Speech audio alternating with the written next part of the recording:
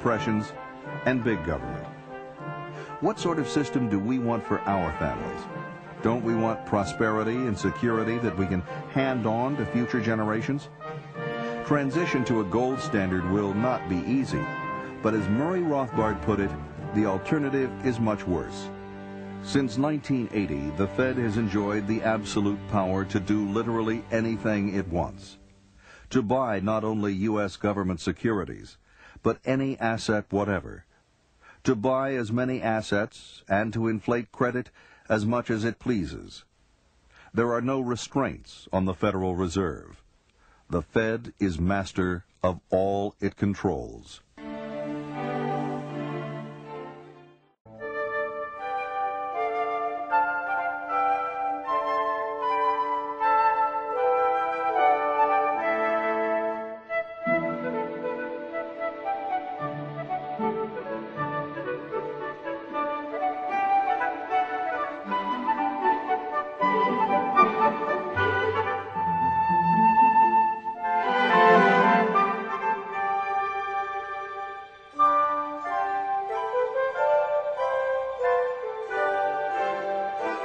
My search led me to the study of the spiritual forces with which all of us are blessed.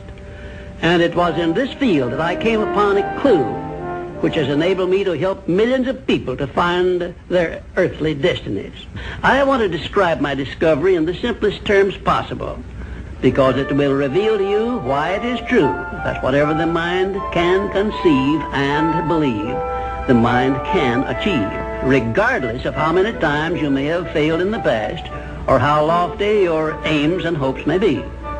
I caught my first fleeting glimpse of the profound law which provides the means by which we may choose our own purpose in life and attain it, while I was being coached by Andrew Carnegie during the organization of the Science of Success philosophy.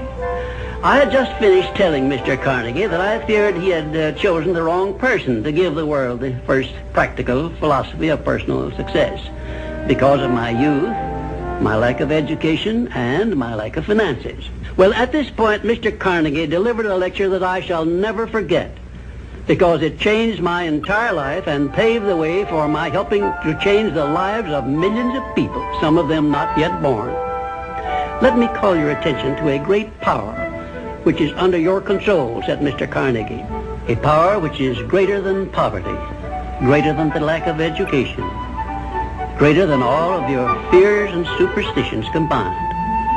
It is the power to take possession of your own mind and direct it to whatever ends you may desire. This profound power, Mr. Carnegie continued, is the gift of the Creator, and it must have been considered the greatest of all of his gifts to man, because it is the only thing over which man has the complete and unchallengeable right of control and direction. When you speak of your poverty and lack of education, Mr. Carnegie explained, you are simply directing your mind power to attract these undesirable circumstances. Because it is true that whatever your mind feeds upon, your mind attracts to you. Now you see why it is important that you recognize that all success begins with definiteness of purpose, with a clear picture in your mind of precisely what you want from life.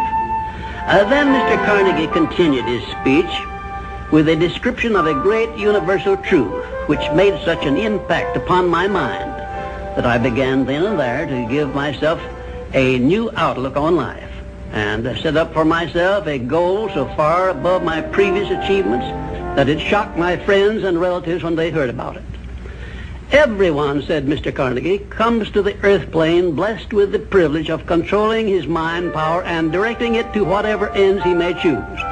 But, he continued, everyone brings over with him at birth the equivalent of two sealed envelopes, one of which is clearly labeled, the riches you may enjoy if you take possession of your own mind and direct it to ends of your own choice and the other is labeled the penalties you must pay if you neglect to take possession of your mind and direct it.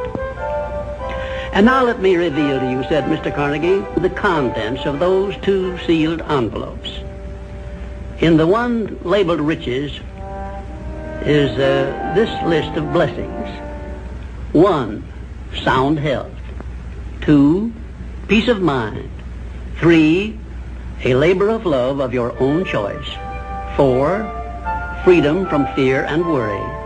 Five, a positive mental attitude. Six, material riches of your own choice and quantity. In the sealed envelope labeled penalties, Mr. Carnegie continued, is this list of the prices one must pay for neglecting to take possession of his own mind. One, ill health. Two, fear and worry. Three, indecision and doubt. Four, frustration and discouragement throughout life. Five, poverty and want. Six, and a whole flock of evils consisting of envy, greed, jealousy, anger, hatred, and superstition.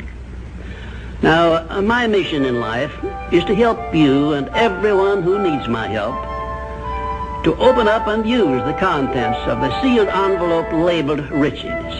And the starting point from which you must take off if you wish to write your own ticket from here on out for the remainder of your life, I will describe for you in these simple instructions. One, procure a neat pocket-sized uh, notebook, or something on the order of this one here, loose leaf affair. And on uh, page one, write down a clear description of your major desire in life. The one circumstance or position or thing which you will be willing to accept as your idea of success.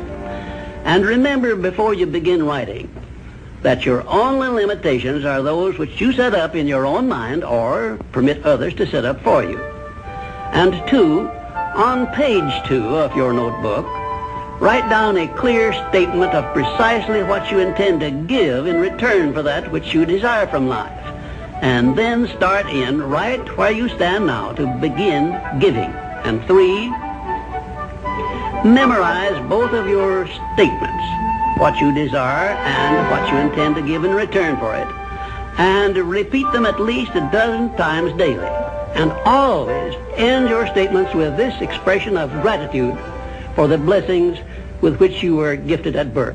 I ask not, O divine providence, for more riches, but more wisdom with which to accept and use wisely the riches I received at birth in the form of the power to control and direct my mind to whatever ends I desire. If you are not too successful or self-satisfied to accept and express this profound prayer, if you accept it and express it in the same spirit of humble sincerity in which I pass it on to you, a new and a better world will reveal itself to you.